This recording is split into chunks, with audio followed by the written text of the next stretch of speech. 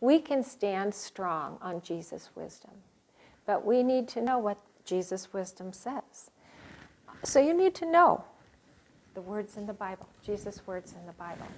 And then when you hear uh, somebody say something that sounds wise, compare it to what Jesus said.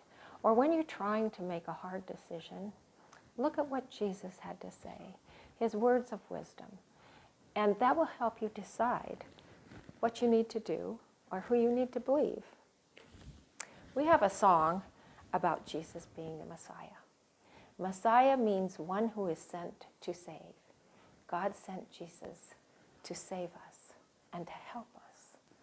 Jesus wants his wisdom to be yours, and it can be when you know the words in the Bible. Let's enjoy this song. You are the Messiah. Can you stand up and sing with the kids in the video?